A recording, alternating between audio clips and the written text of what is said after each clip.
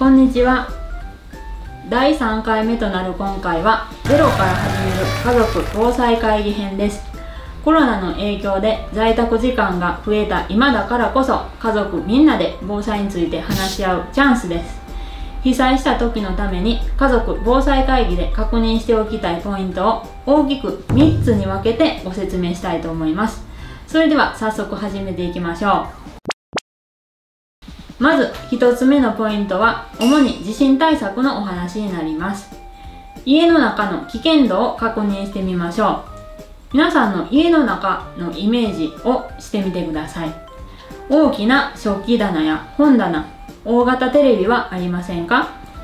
倒れてきそうな家電や家具についてはあらかじめ転倒防止の措置を取っておくことが大切になります。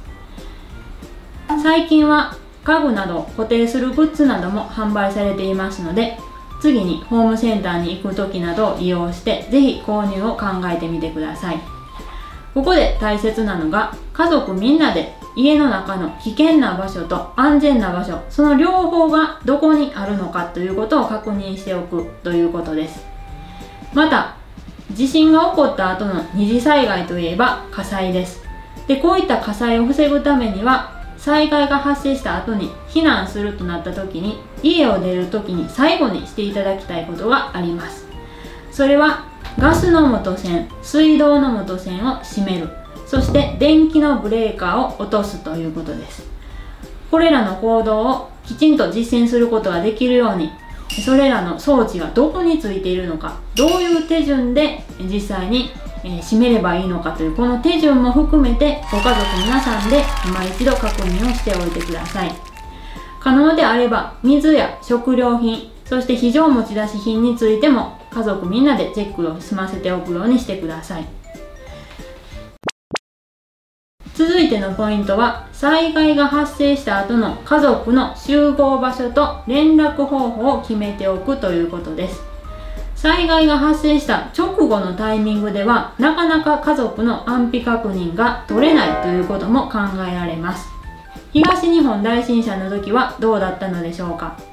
震災が起こった直後には通常の50倍から60倍の通話が集中しなかなか電話がつながらないといった状況が続きました。このような場合も含めて通信手段が使えないというケースをまず想定して地域の指定避難所など家族共通の集合場所を事前に話し合って決めておいてください。そしてこの時に大切なポイントですができるだけピンポイントで場所を決めることと時刻を設定しておくという工夫を凝らしてほしいと思います。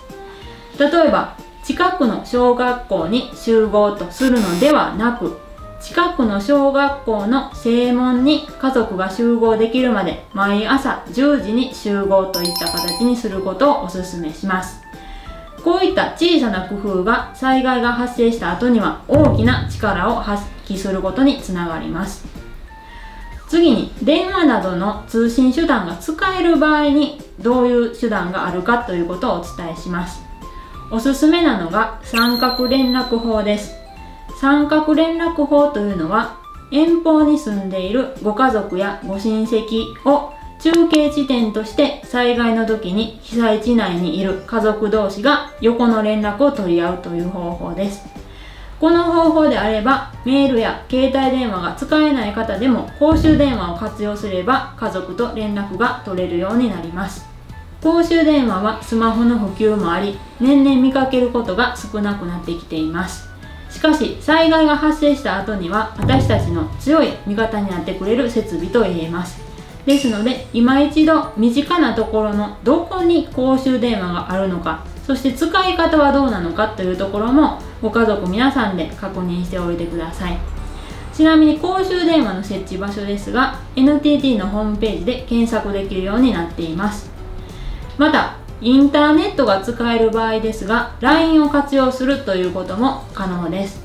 LINE は既読の機能がありまして既読とつくだけで返事がなくても家族が生きているんだということを確認することができ安心です。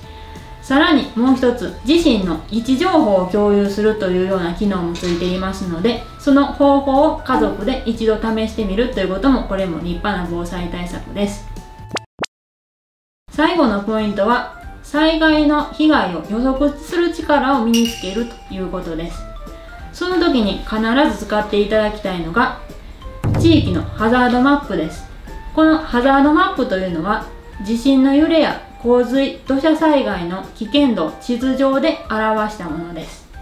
枚方市では枚方市防災マップにこのハザードマップが掲載されています。この防災マップは市のホームページでも閲覧できるようになっています動画の概要欄にリンクを貼り付けておきますので、是非確認してみてください。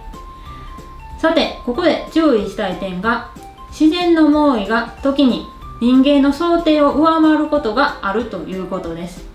ハザードマップの被害予測はあくまで参考にしていただいて、やはり自分の目で足で皆さんのお住まいの街を確認するということが一番重要なポイントです。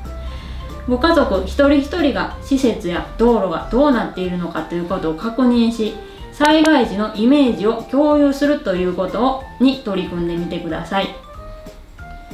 ハザードマップ上の危険箇所は実際にはどうなっているのか避難所までのルートは？地形のアップダウンはどうなっているのか？こういったところにもぜひ目を向けていただきたいと思います。これらのポイントを家族会議で確認しておきさらに一人一人が日常的に防災を意識することによって家族の防災力というのは自然と高まっていくと思います。それでは今回の動画のポイントのおさらいをしてみましょう。1つ目家の中の危険度の確認。2つ目。避難の時に家族共通の集合場所と時刻を細かく決めておく。3つ目。ハザードマップを確認する。これらのポイントを押さえて1からいや0から家族防災会議に取り組んでみましょう。さて今回は家族防災会議で確認しておきたいポイントについてお伝えしました。第4回目ではウィズコロナ時代心強い味方になってくれる防災グッズについてお届けする予定です。それではまた次回の動画でお会いしましょう。ありがとうございました。